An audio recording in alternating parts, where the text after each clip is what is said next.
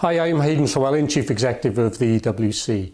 I'd like to offer sincere congratulations to those newly qualified teachers in Wales who over the past nine months have been undertaking accredited teacher training programmes in Wales. Your certificates confirming qualified teacher status are now available for you to download from the EWC.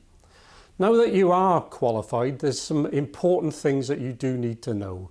Firstly, it's essential that you register with the Education Workforce Council. You must be registered in order to work and practice in Wales.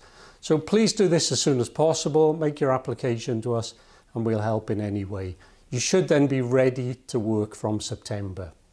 Also, the EWC has a range of resources, guidance and support to help you when you are registered with us. So please jump onto the website and take a look at those things. One of the services I'd really encourage you to look at is the Educators Wales website. The EWC develops this on behalf of the Welsh Government. All of the information about careers in Wales in education can be found there, but also it's the largest portal of education jobs that you will find. Hundreds of education jobs, teaching jobs advertised there every day. So please have a look and you can seek your ideal job match there. So congratulations once again on gaining qualified teacher status and we look forward to working with you over the coming years. Thank you.